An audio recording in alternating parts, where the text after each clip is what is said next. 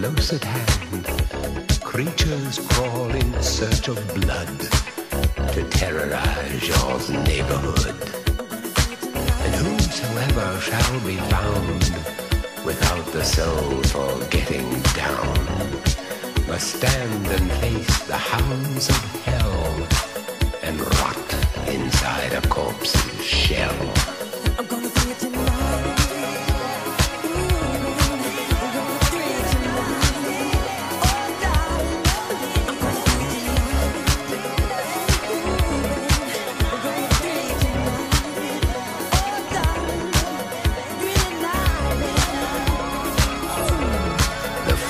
Foulest stench is in the air, the funk of 40,000 years, and grisly ghouls from every tomb are closing in to seal your doom.